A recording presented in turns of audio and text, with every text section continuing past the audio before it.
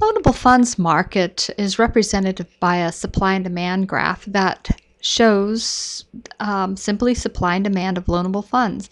As a supply and demand graph, it does have different labels. On the horizontal label, you'll see quantity of loanable funds, which is not quantity of investment as shown in your textbook. I think only Krugman does that.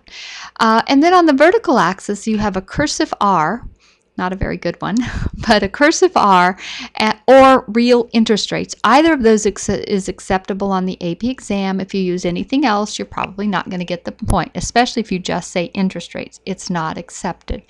Supply of loanable funds is affected by two things the uh, change in the money supply, that would be affected by monetary policy uh, which you'll learn about in Module 6, or the uh, change in people's savings. Uh, savings increases or decreases, of course, that changes the interest rate and the quantity of loanable funds available.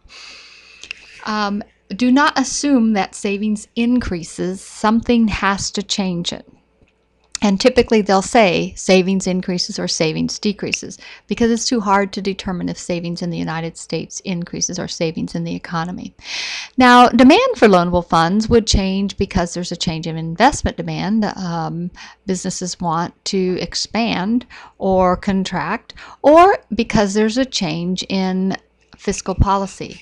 Um, government increases spending, decreases spending, or changes taxes, that's going to affect the demand for loanable funds. For example, if the government decides to decrease taxes, they have to find a way to decrease or to replace those the, that money that they borrowed so or they decreased in taxes so what they'll do is they will borrow money from the loanable funds market which effectively shifts demand for loanable funds to the right, increasing interest rates and increasing the quantity supplied of loanable funds. Uh, just remember fiscal policy uses the loanable funds market, and you should be good to go from this point on. Have a great FLVS day.